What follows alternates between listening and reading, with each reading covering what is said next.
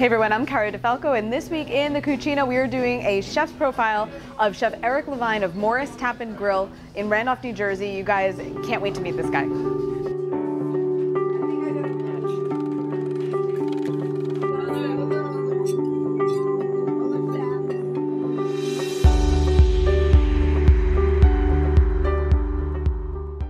First cookbook I had, um, my dad had given me, and we used to see him on weekends. He gave me my first cookbook, which was a Mickey Mouse cookbook. So he asked me what I wanted to make, and of course I went right to the chocolate mousse. And I remember yes. like it was yesterday. It was Goofy's chocolate mousse, and back then they had the hand blender that had the two yes. whisks on it. Yes. You could pull them off and lick from it. Right? Yes. So I'm making this. I still have one of those. So that's cool. Nostalgia.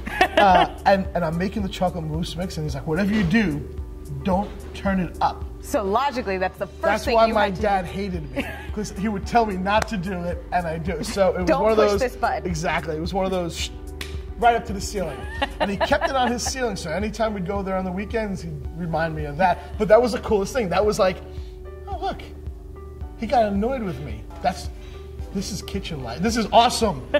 like so many of us, Chef Eric's first experiences with food go back to family basically my grandmother raised my brother and I, uh, my older brother and I, and, and she was always cooking. And she always happened to have something for us. You learn about the, the love of people through food. Extended into yeah, their food. Absolutely. But Chef Eric has another life experience that changed how he lives, eats, and cooks. Being five cancer five times shook me up, obviously. The yeah. last time it almost killed me, and I'm very, very blessed and very lucky to do that. So now I have to do something with that. That little bit of, of opportunity and, and that I have a chance to live again. Yeah. You know, I have a chance that most people never get to experience. I had to make changes in my life because part of part of that whole process is changing what you do, mm-hmm. um, finding, you know, making sure you take everything, extracting everything that's negative in your diet out. So it changed my approach to food and how we cook. And it shows in his food and menu. After going vegan himself for a while for his own health, Chef Eric now regularly offers vegetarian, vegan, and gluten free meals to fit anyone's diet and taste. He's also sourcing as many local ingredients as possible, including teaming up with a nearby farm. This all comes a mile and a half from, from the restaurant, here. Yes. So what we did was we partnered with um, Happy Harvest, which is a hydro farm. So all our greens, the microgreens, we get from there, and it's like like you said, it's low. I mean, you can't get more local, local. than that yeah. unless we build it on the roof here. Yeah. It comes back to having fun with food, mm-hmm. doing things that people are familiar with, so scallops and pork loin and salmon, and being a little creative with it and giving an elevated dining experience because yes we're a gastropub at the end of the day. We are not trying to be fancy and overdone.